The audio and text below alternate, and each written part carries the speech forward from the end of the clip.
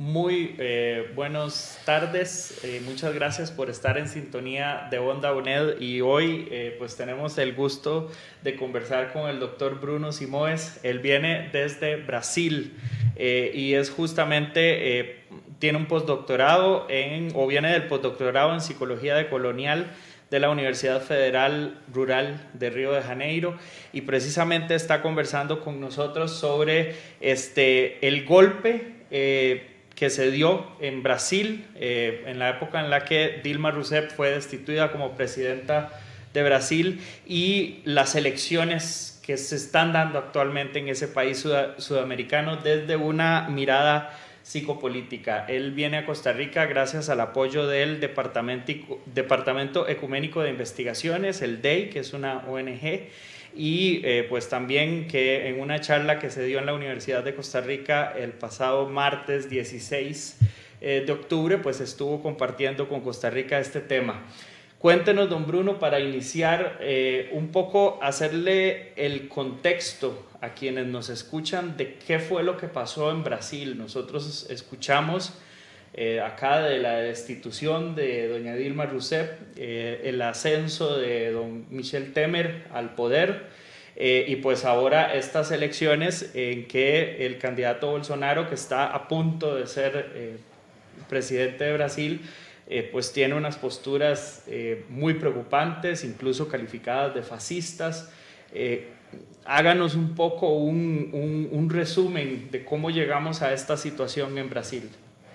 Ah, que ha pasado en Brasil que en los últimos 20 años, eh, desde 2006, cuando el, el, gobierno del PT está, 2003, la verdad, cuando el gobierno del PT toma, Partido de los Trabajadores toman, empezó un proceso de muchos avances en nivel social. Entonces hay, hay, hay muchas cosas que yo puedo, puedo señalar eh, un dado solamente para que, se, para que entienda el, el volumen de las cosas, 30 millones de personas salieron de la pobreza y fueron a la llamada capa media o algo así. Entonces, eh, junto con eso, muchos otros avances en el campo de la educación, en el campo de los derechos, en fin, en todas las dimensiones de la sociedad. Eso todo ha, ha dado, creado un clima de, de mucha, de mucha, que eh, los opositores sabían que el campo por, la democracia como, no, como la concebimos, seguramente el, el, marco del campo democrático popular de, eh, de los partidos de, de, la izquierda, del Partido de los Trabajadores, no lograrían más perder las elecciones por nada. Y el contexto todo, el contexto internacional, el contexto todo pedía que se pusiera un otro tipo de proyecto ahí otro tipo de proyecto que no fuera un proyecto democrático popular. Y por ese motivo, a partir de, 2014-15, con la victoria de Dilma Rousseff, se empezó un proceso muy fuerte, muy denso, con, mucha, con de muchos aspectos de, de, la élite brasileña para derrumbe de Dilma Rousseff, que efectivamente ocurrió en, en el impeachment por, eh, en 2016 por motivos absolutamente no sé cómo decir eso en español, pero no, no había crimen posible, no había crimen para, para estaba claramente, es claramente un golpe político para derrumbe de, de, de, las fuerzas democráticas populares del gobierno. Y con eso subió su vice, Michel Temer, que, tiene, que hace parte de un grupo político de Brasil muy corrupto, muy malo, y que, y que todo, en todo este tema trató de implementar este proyecto un proyecto altamente neoliberal, altamente privatista, de corte de recursos de áreas como salud, educación, altamente misógino, altamente racista, eh, de corte homofóbico y cosas de ese tipo. Es que la verdad fue solamente, estaba solamente ahí una preparación para una profundización que pasaría ahora con, con las elecciones. En ese sentido, Jair Bolsonaro es un representante, digamos, más extremo de un proyecto que está en curso en Brasil ya hace algún tiempo, ¿no? Ahora, em, vamos a ver, tenemos un, uno empieza como a preguntarse cómo esto pudo ocurrir, o sea, salen de la pobreza 30 millones de personas, eso si mis cálculos no me fallan es alrededor de un 15% de la población brasileña. Eh, los, las personas, digamos, los grupos tradicionalmente excluidos, más pobres, más rurales, eh, deben haber sentido mucho apoyo en, el, en las políticas del PT. Eh, y son mayoría en la población, porque la mayoría de la población brasileña no es esta élite, ¿verdad? ¿Cómo es posible que este apoyo popular parezca haberse desvanecido tanto? Sí, me parece que ahí tenemos un tema, un tema muy fuerte de, de la creación de una narrativa anticorrupción. Ya, ya he pasado en otros, en otros momentos en Brasil que cuando querían desestabilizar gobierno popular o gobierno democrático, gobierno que, que tenía este carácter más volvido para la, para la mayoría de la población explotada, ha siempre ha surgido esa idea de, un, de, un, de la corrupción como una, una manera de, de deslegitimar estos procesos, ¿no? Entonces, ahora está pasando lo mismo. Entonces, desde 2014, como, como ha dicho, en la verdad, este proceso empieza en 2005 aún en Lula. Ya están ahí desde 2005 haciendo algunos esfuerzos o muchos esfuerzos para que pasara un proceso como ese que pasó con Dilma Rousseff en 2015, pero 2016, pero ahora ya tenía como la, las condiciones estaban mejor. Más eh, eso que me pregunta es claramente una ah, hubo un proceso muy denso, muy intenso de creación de una narrativa todos los días en las medias eh, por, por, por, por de, de, de, distintas formas anticorrupción, antipolítica y sobre todo antipartido de los trabajadores. Es, claro, se intentó principalmente en el centro ante Luis Ignacio Lula da Silva, pero eso no logró. Pero todos los otros lo lograron suceso. Entonces se creó un clima, un clima de anti-PT y de anticorrupción que eh, digamos, se, se explayó en la, en, la, en la, población manera general. Pero anti-Lula no. Y por eso que Lula está encarcelado. Porque si fuera, si fuera candidato, seguramente ganaría y muy probablemente en primera vuelta. vuelta. Y vamos a ver, tenemos un escenario mediático, si mal no recuerdo, en, números, eh, o Globo, que es el principal, digamos, eh, y en Costa Rica conocemos a O Globo por, por eh, las novelas brasileñas que son famosas en este país. La que produce muchas de esas novelas es O Globo. Eh, también hay una industria cultural muy fuerte eh, del movimiento pentecostal también, que en Costa Rica se refleja también en las telenovelas como Moisés, como, ¿verdad? Y otras telenovelas muy exitosas, pero que también tienen medios de comunicación. Son estos emporios mediáticos justamente los que han creado esta, esta desestabilización. Eh, en Sí, la, la, Globo sí como, como el gran carro jefe, que digamos, ¿no? Más también ahí están la, la, la segunda, la tercera, la cuarta red de televisión de Brasil, lo mismo. Están todo el tiempo y ahora en, en la, en la elección ha entrado duro para tomar eso, ¿no?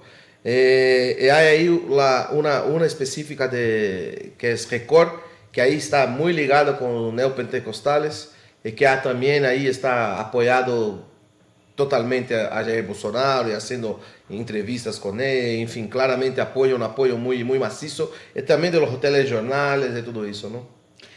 ¿Qué rol, uh, vamos a ver, tal vez, eh, imagino que ha escuchado usted la traumática elección presidencial que tuvo Costa Rica recientemente, claro.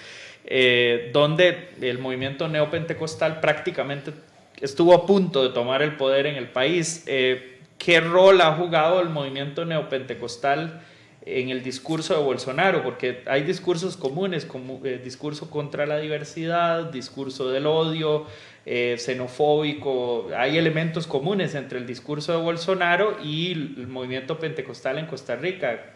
¿Qué, qué rol juegan en Brasil? Sí, tiene, tiene un papel importante en la campaña de Bolsonaro, ¿no?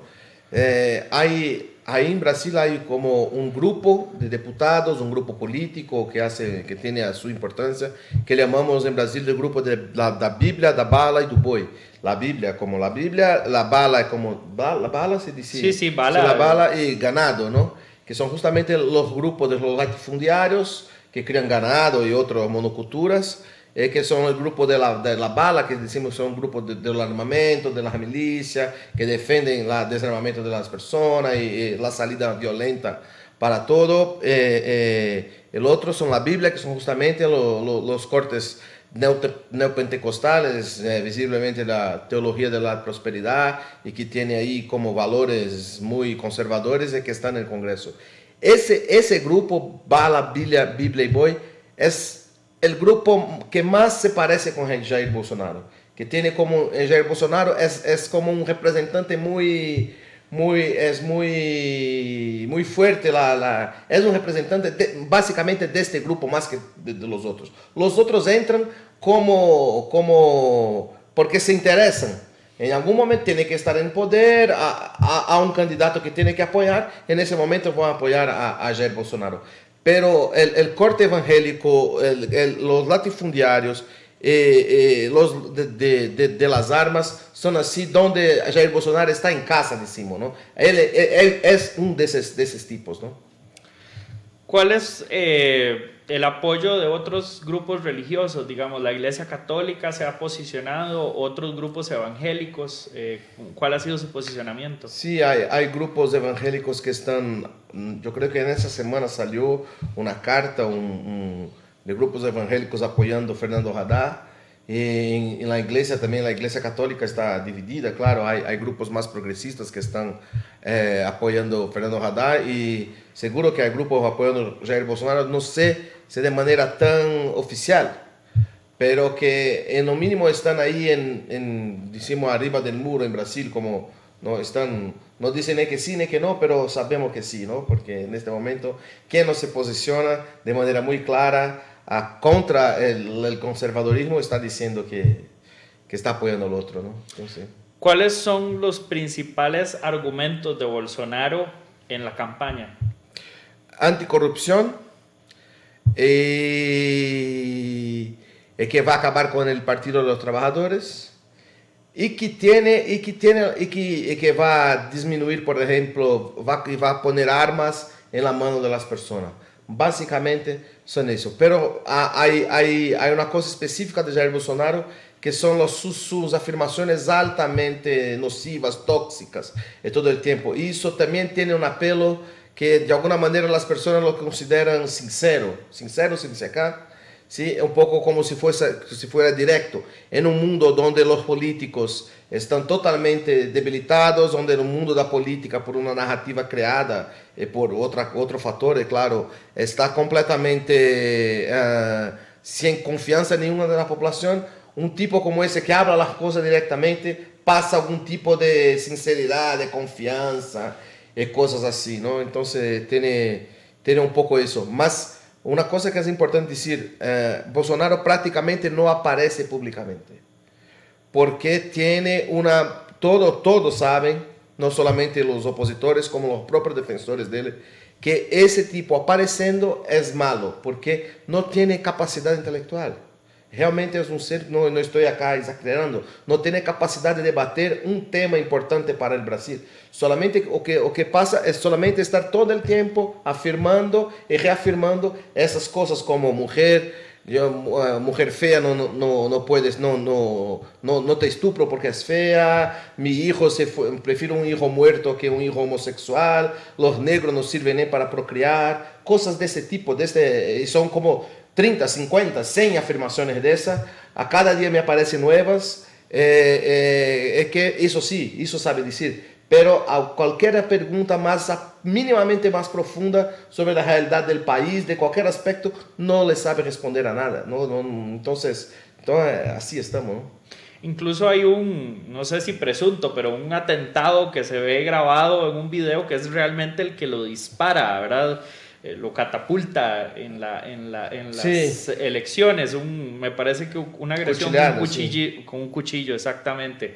Eh, hay paralelismos con el candidato que, que, hubo en Costa Rica hace unos meses. Eh, ¿Cómo se ha movido esta segunda vuelta? Eh, ha, ha, habido grupos que ponen en evidencia sus contradicciones. ¿Qué puede pasar eh, en un escenario que me imagino que en este momento debe estar caldeadísimo en Brasil? Claro. Una de las cosas que pasó, incluso esa semana, Yo creo que hoy o ayer salió en uno de los grandes periódicos de Brasil, está descubierto, se descubrió cómo el, eh, Bolsonaro pegó mucha plata de los empresarios para hacer un tipo de anuncio en WhatsApp que, que totalmente legal para promover, eh, para, para, para hablar mal de, de, del, del, candidato opositor, hablando muchas mentiras, eh, eh, todo. Entonces, me parece que ese, ese, esa estrategia está como muy fuerte en los últimos tiempos y tiene, y tiene,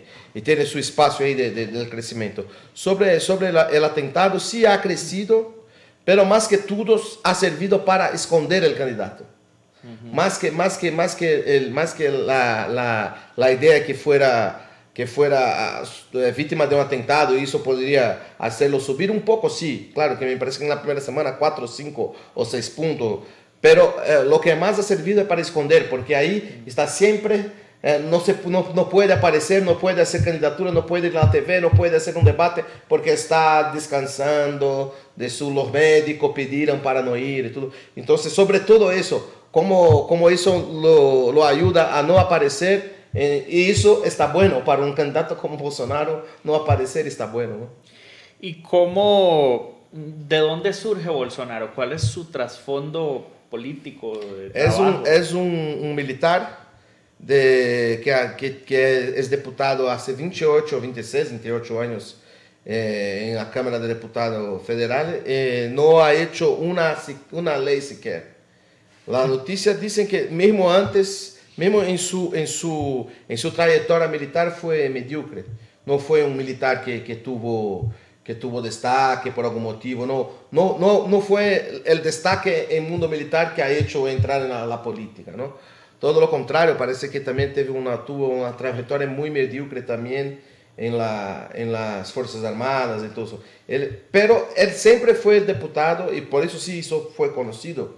Eso, eso es, su, su, su, gran, digamos, su gran aporte, no sé cómo se dice eso, pero es conocido por ser el tipo que siempre defendió la bandera de la dictadura. Siempre defendió las Fuerzas Armadas, la dictadura, los medios, los medios violentos para, para resolución de conflicto. Siempre se puso de manera en contra, de manera muy violenta y muy uh, bruta contra todas las banderas de los derechos humanos. Es quase, durante muito tempo, foi quase um caricato. Era como se fosse uma caricatura, aquilo que, que representa o que há de pior na sociedade, de maneira quase caricata, não? O sea, de cierta forma eh, nos recuerda a esas figuras tipo Boris Johnson en Inglaterra, Donald Trump en Estados Unidos, eh, poco Marine Le Pen en Francia, o sea, este tipo de figuras y que al menos en las elecciones latinoamericanas han tendido a estar fuertemente vinculadas con el movimiento neopentecostal, igual que en Estados Unidos, ¿verdad? Sí, sí, hay, hay, hay, una, hay una relación, ¿sí? Yo creo que no, eh, pelo menos de maneira mais, mais oficial, não ha, não han dado tan, não ha dado, não, não, não, não está declarada, não está tão aclarada assim, oficialmente. Pero sabemos que há, sabemos que é forte. Mas assim, não há um apoio. Claro que há, há apoio de dois grandes grande, grande pastor. Esse, esse, nesse último espaço, La Record, que é a, a tele de los evangélicos, eh, conservadores del fundamentalismo religioso eh, ha apoiado claramente Bolsonaro, pero no hay así, no es, no es un candidato de los evangélicos, no, no, no se puede decir eso así, afirmar eso como si fuera un pastor o como si fuera un, un no, eso no.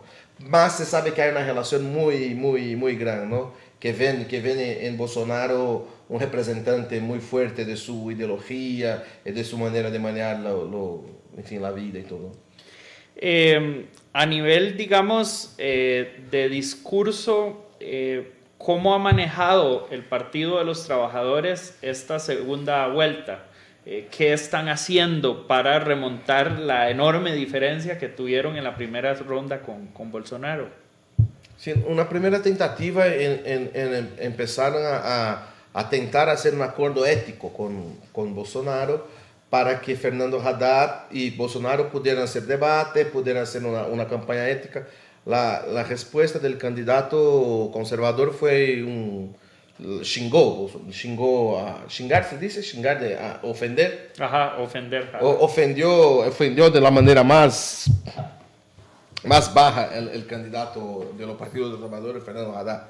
Entonces, eh, hay, hay una tentativa de, de mostrar con argumentos como el proyecto del Partido de los Trabajadores está muy muy bien, bien pensado y que tiene un proceso de continuidad con que ya había sido hecho, el, eh, en cuanto el, el, el proyecto de, del candidato opositor no tiene nada, entonces hacen una disputa de proyecto. Pero, digamos, de, de uh, delante de tanta de tantas formas ilícitas de hacer la, las elecciones, de hacer la, é claro que o Partido dos Trabalhadores também tem se posicionado de maneira muito forte contra todas as, as ilegalidades. Então, é apontar a todo o que na verdade é esse candidato, no, no sentido de que, do ponto de vista econômico, político, social, não tem é um governo do golpismo piorado, mais forte, mais extremo aún. E no campo de no campo de, de las estratégias políticas está como completamente corrupto e de maneira muito ele, no campo da costumbre, representa um total retrocesso em campo dos direitos humanos, das pessoas, enfim. Então, é um pouco apontar de distintas formas como ele não, não, não está, não, não sirve para estar no cargo como a importância que tem na presidência da República. Não? ¿Qué queda para Brasil? ¿Cómo, ¿Cómo ve usted el escenario? Estamos a poquísimos días ya de las elecciones. Eh, sí. ¿Cómo se ven las cosas? Sí, eh, es, segundo las últimas entrevistas, las últimas encuestas, hay una diferencia, el Bolsonaro tiene una diferencia de más de 10 puntos a, a, gobierno, al candidato del Partido del Trabajador, ¿no? Hay una, un análisis que es posible hacer una virada, eso es posible, eso ha, pasado incluso acá en, Costa Rica y vimos otros, otro momento que, que virada ocurrió. É, há um movimento em Brasil que está, me parece que hoje estava lendo coisas que está, está cada vez mais forte, que chamamos de ola, ola roja, uma onda vermelha para nesta nesta reta final recuperar este este esta diferença. Pero é, é, é importante assinalar que há todas as forças contra. Não estamos não estamos num jogo democrático limpo, digamos assim. Hay todo, hay todo un juego mediático de los campos políticos, de los campos del, del juicio, de, de, las policías, de todos lados hay una, una, como si fuera un juego marcado para la derrota del de Partido de los Trabajadores. Entonces, es, eso significa que está difícil, pero yo creo que es posible, y si ganharmos, se lograrmos la victoria, será una victoria absolutamente histórica, porque en este contexto, conseguir ganar eh, eh, realmente será histórico. Eh, ¿Qué se lleva de esta visita a Costa Rica? Y para ir cerrando ya la, la participación, eh, ha estado aquí ya varios días, eh, justo en un momento histórico que para ustedes eh, es muy fuerte y que para nosotros ha sido un año muy fuerte también. ¿Qué enseñanza se lleva para Brasil? Sí, una de las cosas que me llamando la atención es como cuando hablan de la situación de Brasil, hacen una comparación con la situación de Costa Rica hace meses atrás con, con las elecciones que pasaron acá, ¿no? Entonces me parece que ahí y también aquí en un país eh, donde viven muchos extranjeros, entonces estoy en DEI haciendo trabajo con, con personas de todo, de muchos países aquí en América Latina, incluso de Europa encontrado esos días. Entonces una cosa que está fuerte es eso, como es un movimiento, ese movimiento de extrema derecha está como en todos los lugares, ¿no?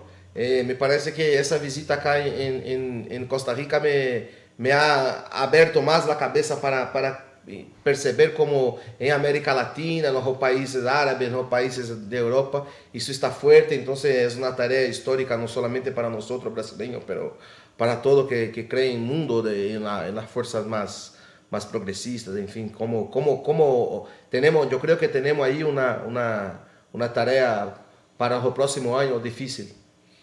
Muchas gracias, el doctor eh, Bruno Simoes, este, de, eh, del postdoctorado en Psicología Decolonial de la Universidad Federal Rural de Río de Janeiro, eh, invitado por el DEI, Departamento Económico de Investigaciones, una ONG, también estuvo presente pues, en la Universidad de, de Costa Rica y que es un gusto conversar sobre este reto que enfrenta la patria grande latinoamericana este, y ante las elecciones en Brasil. Así que a estar atentos y atentas de lo que eh, ocurre en nuestra patria grande, que en últimas también nos afecta enormemente a nosotros mismos eh, y que es parte de todos estos procesos históricos que vivimos. A veces creemos que estamos solos.